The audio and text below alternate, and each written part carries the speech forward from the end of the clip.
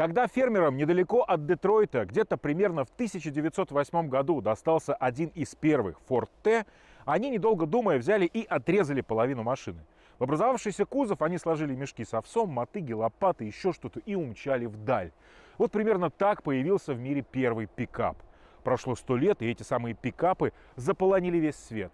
Мы знаем компромиссные российские, надежные японские, брутальные австралийские, мощные американские, футуристичные корейские. И вот пришло время китайских. Какие они? Узнаем на примере самого длинного пикапа прямо сейчас на рынке Great Wall Power King Kong.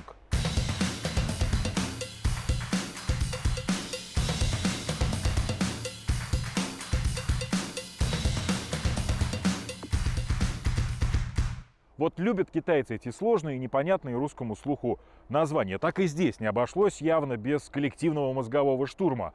Смотрите сами, Great Wall это про корни, Пуэр это не про пуэр, не про чай, это про пауэр, про силу. Ну а Кинг-Конг это как бы ответ на вопрос, кто здесь самый большой. Да уж действительно, вот такой ширины и вот такой у жены. Причем у жены это про дорожный просвет, который здесь не так уж и велик, составляет всего 200 миллиметров. Это меньше, чем у Лады Весты Кросс. Ну а если учесть дерзко выпирающие крепления рессор, то и того меньше. Создатели этого автомобиля были вдохновлены не иначе, как Великой Китайской стеной. Точно. И вообще такое ощущение, что дизайнерам, когда они создавали эту машину, просто внезапно вырубили свет. Потому что если бы этого не случилось, они бы продолжали его рисовать, рисовать, рисовать, и он бы, возможно, никогда не закончился. При таких габаритах говорить о серьезных оффроудных способностях не приходится. Мелкие грунтовые дороги, какие-то небольшие броды, небольшие камни или, как в нашем случае, рыхлый снег – вот его зона комфорта. Вообще настоящий пикап это что-то такое аналоговое с рычагами, лебедкой, лестницами, канистрами, лопатами, дополнительным освещением. И все это, конечно, можно сюда приварить и прикрутить, и в этом случае Кинг-Конг превратится в настоящего дракона.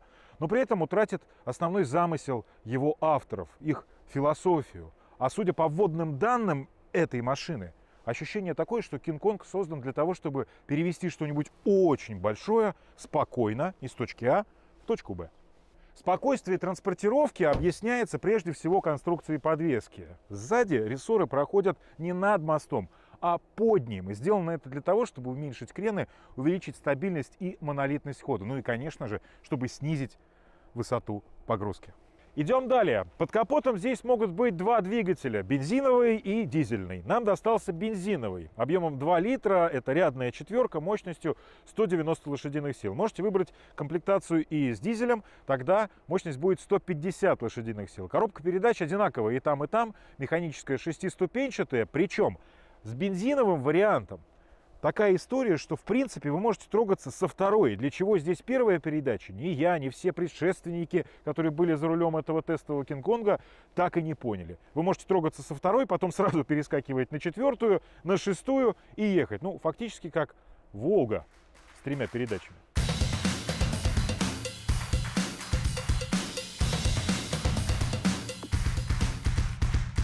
Надо сказать, что я довольно комфортно расположился здесь за рулем, и это, пожалуй, первый китайский автомобиль, где я полноценно поместился в кресле.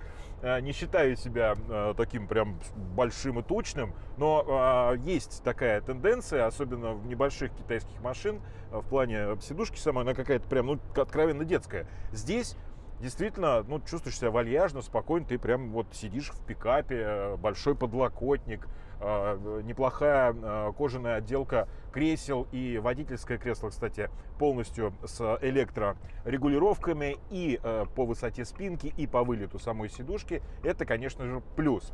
Что касается рулевой колонки, то тут она, ну, двигается разве что вверх-вниз. Вот другого такого продольного здесь, продольной настройки здесь, к сожалению, нет. А хотелось бы.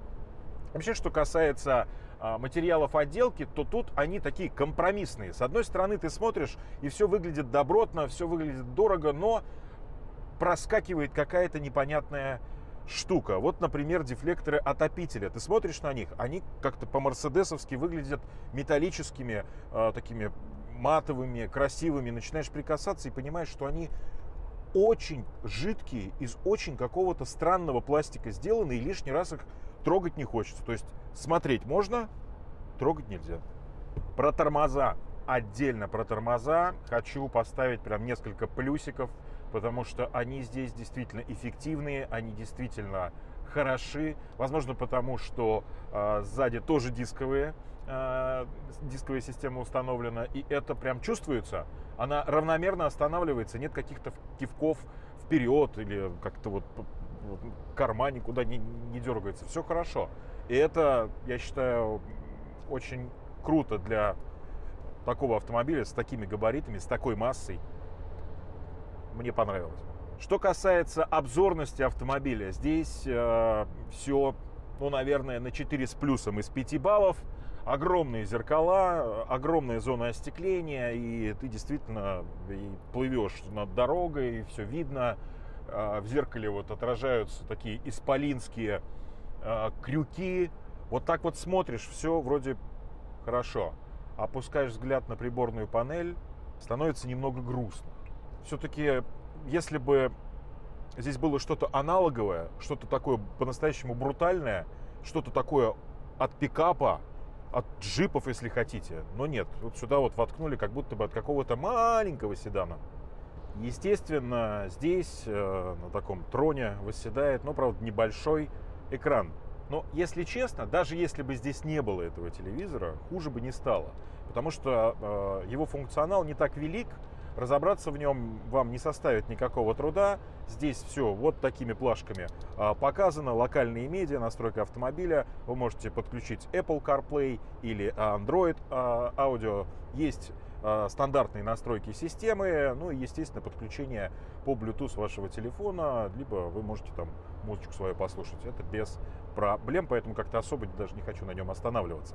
Вот то, что действительно вызывает интерес и такую приятную улыбку уважения, это а, вот эта центральная панель с а, кнопками управления полным приводом или передним приводом, включения аварийной сигнализации. Вообще понравилось то, что наконец-то здесь кнопки, они настоящие, то есть они такие тактильные.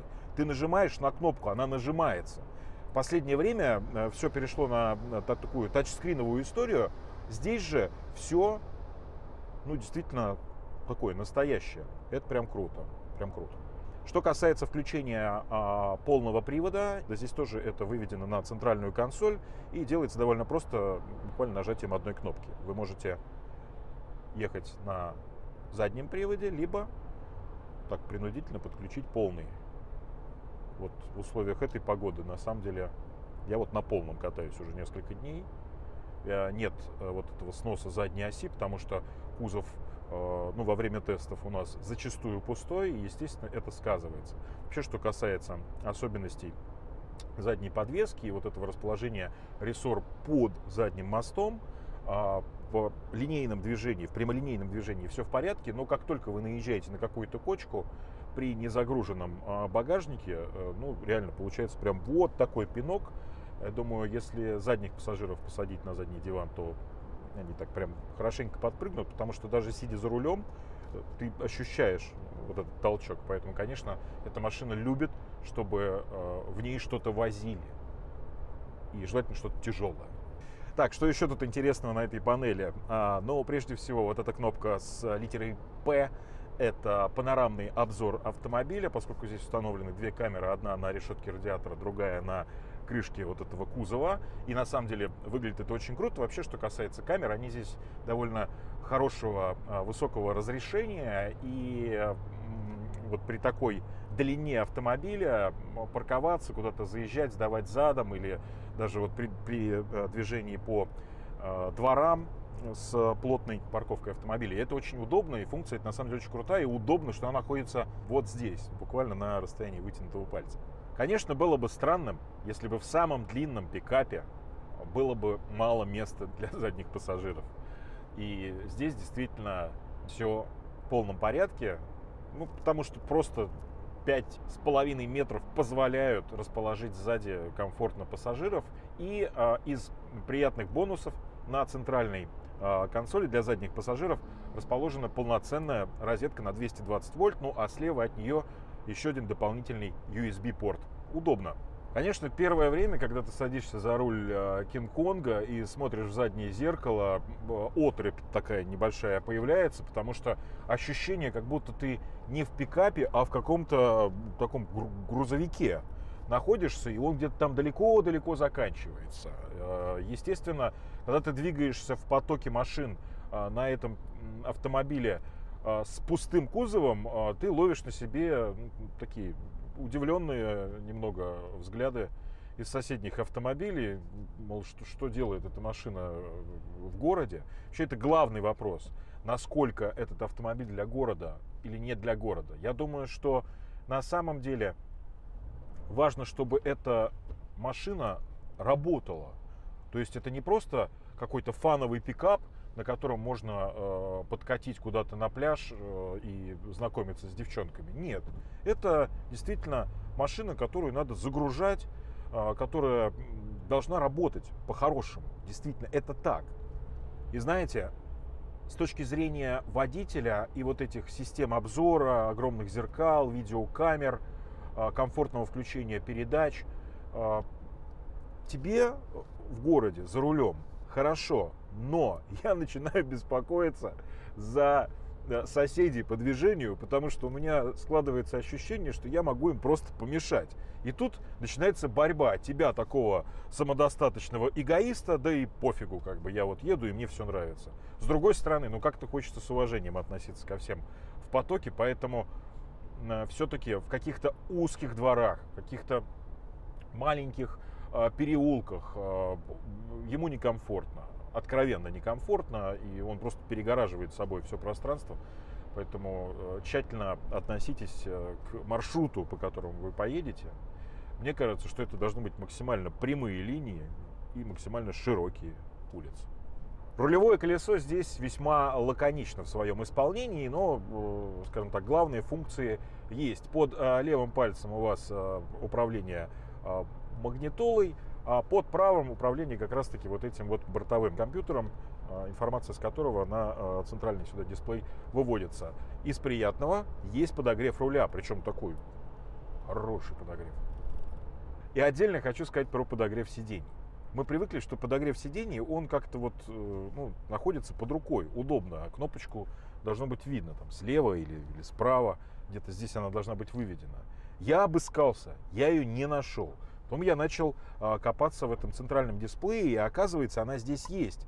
Но насколько она удобная, вопрос дискуссионный. Вот можно выбрать водительское сиденье и э, нажать, например, вот э, троечку, двоечку или единичку. Это когда мы едем со скоростью 32 км в час.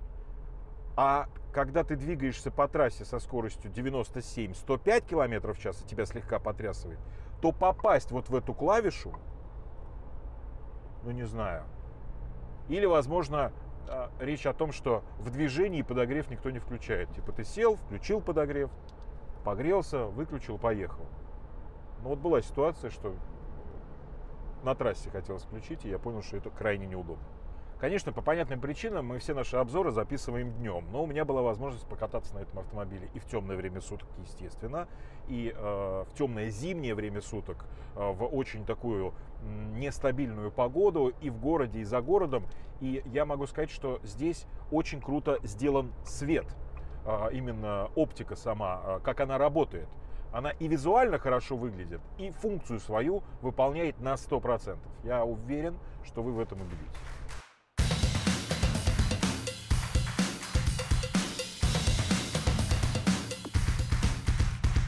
За рулем Кинг-Конга я провел чуть больше недели и проехал около 3000 километров. Причем а, время моего тест-драйва выпало на сильнейший снегопад в центральной России. Из специального оборудования у меня с собой была только щетка и 5-литровая канистра незамерзайки. Вот и все. И во время движения я совершенно не задумывался о том, проеду я или нет. Кинг-Конг проезжает. С другой стороны, я особо не отвлекался, не отъезжал от известных трасс. Это ему не нужно. Словом, это хорошая рабочая лошадка, но в комфортных условиях. Он бы и готов впуститься во все тяжкие, но создатели надели на него шоры. Ничего, подрастет. С вами был Денис Абасов. Увидимся. Пока.